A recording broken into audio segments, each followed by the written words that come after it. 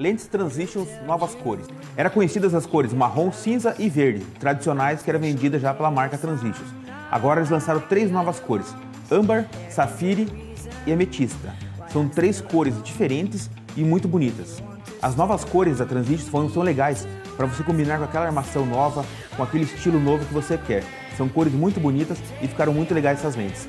As lentes Transitions de novas cores você encontra aqui na Ótica Curitiba, em dois endereços em Cascavel, na Rua Rio Grande do Sul 928 ou no Calçadão do Brasil, ao lado da Riachuelo. Eu sou Eduardo Hortolã e agora veja o videozinho making off da Transitions.